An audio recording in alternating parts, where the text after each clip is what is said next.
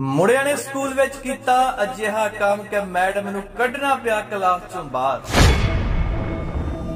ਹਾਂਜੀ, ਸਤਿ ਸ਼੍ਰੀ ਅਕਾਲ। ਤੁਸੀਂ ਦੇਖ ਰਹੇ ਹੋ ਟਾਪ ਪੰਜਾਬ ਟੀਵੀ ਤੇ ਮੈਂ ਹਾਂ ਡੀ ਸਿੰਘ ਜੈਲਦਾਰ। ਯਾਰ ਸੋਸ਼ਲ ਮੀਡੀਆ ਤੇ ਅਕਸਰ ਹੀ ਕੋਈ ਨਾ ਕੋਈ ਵੀਡੀਓ ਵਾਇਰਲ ਹੁੰਦੀ ਹੀ ਰਹਿੰਦੀ ਹੈ। ਸੋ ਹਾਲ ਹੀ ਵਿੱਚ ਇਹਨਾਂ ਬੱਚਿਆਂ ਦੀ ਵੀਡੀਓ ਵਾਇਰਲ ਹੋ ਰਹੀ ਹੈ, ਜਿਨ੍ਹਾਂ ਨੂੰ ਕਲਾਸ ਚੋਂ ਬਾਹਰ ਕੱਢ ਦਿੱਤਾ। ਯਾਰੋ ਕਲਾਸ 'ਚ ਹਰ ਕੋਈ ਸ਼ਰਾਰਤਾਂ ਕਰਦਾ ਹੈ, ਪਰ ਇਹ ਪਤੰਦਰ ਕੁਝ ਅਲੱਗ ਹੀ ਸ਼ਰਾਰਤਾਂ ਕਰਦੇ ਪਏ ਸੀ। ਜਿਸ ਕਰਕੇ ਮੈਡਮ ਨੇ ਕਿਹਾ ਵੀ ਚਲੋ ਪੁੱਤ, ਤੁਸੀਂ ਬਾਹਰ ਚਲੋ। ਸੋ ਅਜਿਹਾ ਕੀ ਕੀਤਾ ਹੋਵੇਗਾ? ਤੁਹਾਡੇ ਦਿਲ 'ਚ ਵੀ ਆ ਰਿਹਾ ਹੋਵੇਗਾ। ਤੁਸੀਂ ਪਤਾ ਨਹੀਂ ਕੀ ਕੀ ਸੋਚ ਕੇ ਬੈਠੇ ਹੋਵੋਗੇ, ਪਰ ਗੱਲ ਏਡੀ ਵੱਡੀ ਵੀ ਨਹੀਂ ਹੈ ਜਿੰਨੀ ਤੁਸੀਂ ਸੋਚ ਕੇ ਬੈਠੇ ਹੋ। ਪਰ ਜਿੱਦਾਂ ਵੀ ਆ, ਇਹਨਾਂ ਦੀ ਵੀਡੀਓ ਆ ਸੋਸ਼ਲ ਮੀਡੀਆ ਤੇ ਬਹੁਤ ਹੀ ਜ਼ਿਆਦਾ ਵਾਇਰਲ ਹੋ ਰਹੀ ਹੈ। ਅਸਲ ਵਿੱਚ ਇਹ ਦੋਨੋਂ ਜਾਣੇ ਜਦੋਂ ਕਲਾਸ 'ਚ ਪੀੜ ਲੱਗਦਾ ਪਿਆ ਸੀ, ਤਾਂ ਪਿੱਛੇ ਬੈਠ ਕੇ ਤੋਤਿਆਂ ਦੀ ਆਵਾਜ਼ ਕੱਢਦੇ ਪਏ ਸੀ। ਤਾਂ ਮੈਡਮ ਹੈਰਾਨ ਹੋ ਗਈ ਵੀ ਆਵਾਜ਼ ਕਿੱਥੋਂ ਆ ਰਹੀ ਆ? ਜਦੋਂ ਵੀ ਮੈਡਮ ਪਿੱਛੇ ਜਾਂਦੀ, ਤਾਂ ਆਵਾਜ਼ ਹਟ ਜਾਂਦੀ।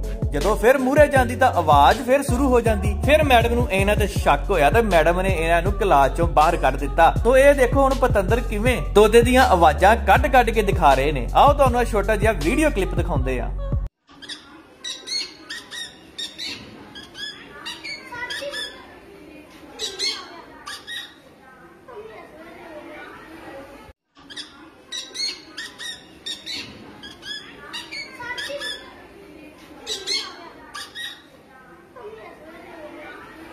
ਹਾਂਜੀ ਵੇ ਤੁਸੀਂ ਕਮੈਂਟ ਕਰਕੇ ਜਰੂਰ ਦੱਸਿਓ ਵੀ ਤੁਸੀਂ ਕਲਾਸ 'ਚ ਕਿਹੜੀਆਂ ਸ਼ਰਾਰਤਾਂ ਕਰਦੇ ਹੁੰਦੇ ਸੀ। ਤੇ ਤੁਹਾਡਾ ਸਭ ਤੋਂ ਜ਼ਿਆਦਾ ਸ਼ਰਾਰਤੀ ਫਰੈਂਡ ਕਿਹੜਾ ਸੀ? ਉਸ ਤੱਕ ਇਹ ਵੀਡੀਓ ਨੂੰ ਸ਼ੇਅਰ ਜਰੂਰ ਕਰ ਦਿਓ। ਸੋ ਮਿਲਦੇ ਹਾਂ ਕਿਸੇ ਨਵੀਂ ਵੀਡੀਓ ਨਾਲ। ਸਤਿ ਸ਼੍ਰੀ ਅਕਾਲ।